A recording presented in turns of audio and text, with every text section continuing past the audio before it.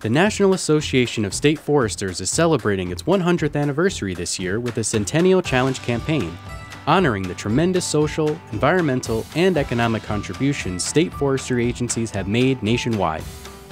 To recognize this important milestone, the New York State Department of Environmental Conservation, or DEC, is celebrating the success of its Buffer in a Bag program in creating and restoring streamside buffers across the state.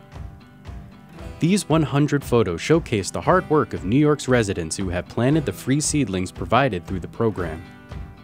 Every planting helps to create healthier streams by establishing vegetated buffers along streams and riverbanks that reduce erosion, protect water quality, and support healthy fish populations. These seedlings are trees and shrubs native to New York and are grown at DEC's Colonel William F. Fox Memorial Saratoga Tree Nursery.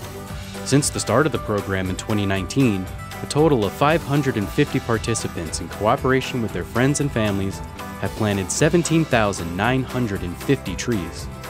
Each planting is an important act of stewardship that protects our forests and our waters.